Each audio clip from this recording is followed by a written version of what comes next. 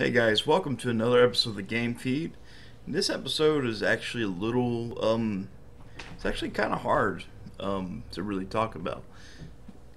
I didn't know this person as in real life, uh, and I, it's hard to really get the words out. Like I said, I, I really don't like to do things scripted, so I just kind of like to talk things out of my head. But um, this this video is kind of dedicated to two different people. Um, the first thing, um, as you guys know, in the news over the weekend, uh, President of Nintendo Satoru Iwata passed away, um, which is really really sad news. Um, as an individual, uh, looking into his life, and as much as I've looked into uh, the video video game industry as a whole um, Nintendo has always been at the forefront of it.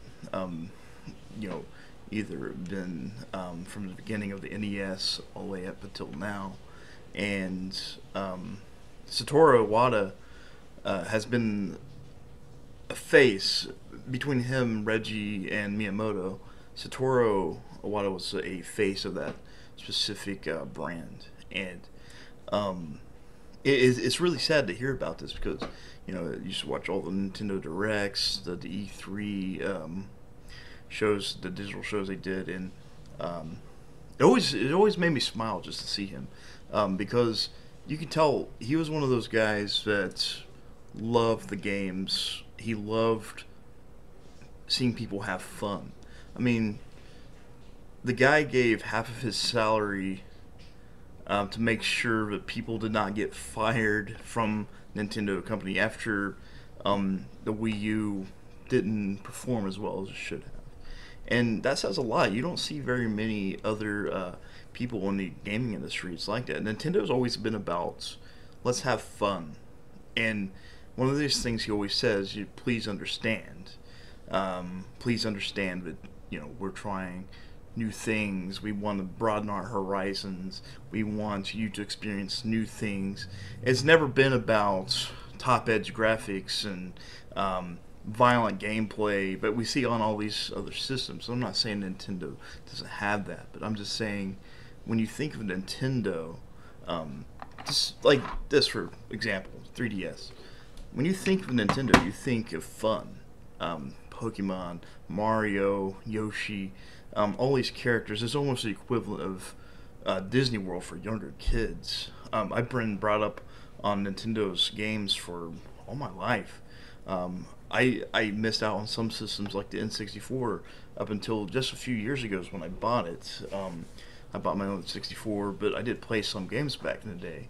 But I bought the Wii U first day of launch, the 3DS, the Nintendo GameCube, the Wii, um, and it's just it was fun. Like just fun stuff. And Satoru Iwata was he was actually a creator himself before he took the reins as president. He worked for HAL Laboratories, and it's just sad to see the passing of such a great. I, am he's an icon. He's a legend, um, and you know, it, it's nice to see that other companies like uh, Microsoft, Sony, and even even uh, development teams uh, coming out and showing their uh, appreciation to Iwata after the fact that happened, and it, it really is sad. Um, I learned about the news over the weekend, and I was shocked. I was sitting here on in my chair, um, just editing some video, and um, it popped up in my feed. I was like, "Wow, whoa, whoa, whoa, whoa, what happened?" And my fiance and my friend was sitting there on the couch. They're like,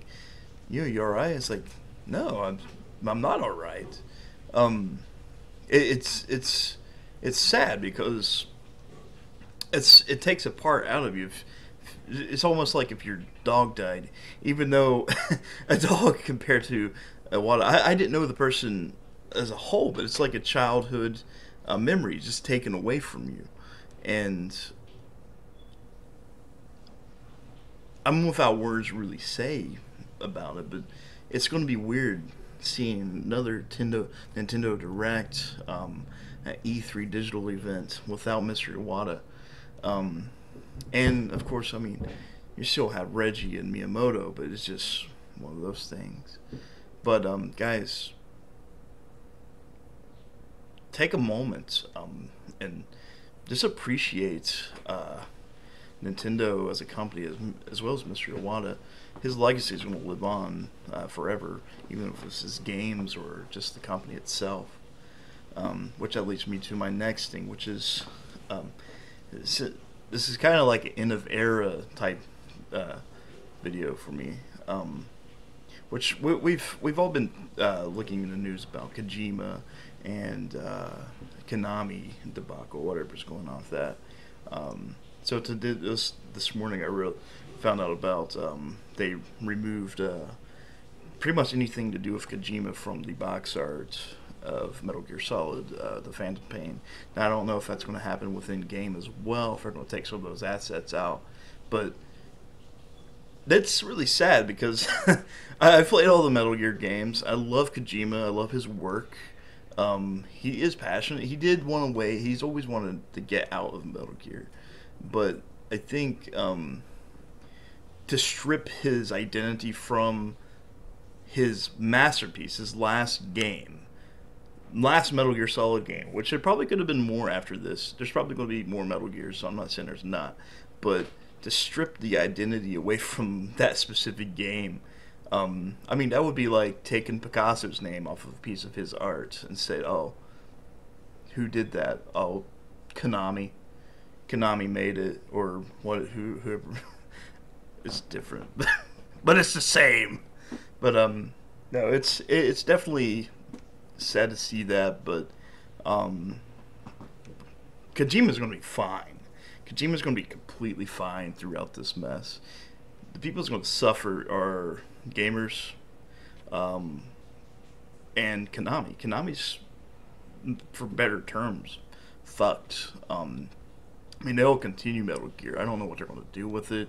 Maybe make a mobile series spin-off or uh, get Platinum to do it, which Platinum did fine with Metal Gear Rising. It's not a Metal Gear game, but it's it works.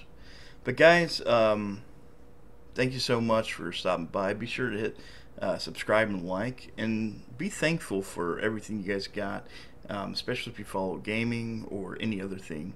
You never know when something's going to be taken away from you. And as always, I love you guys. I hope you hit subscribe, follow, and I want to give a shout out to Boogie2988. Um, he got to see my last vid and he liked it. So, and thank you so much, guys. Thanks for the support, and you guys take it easy.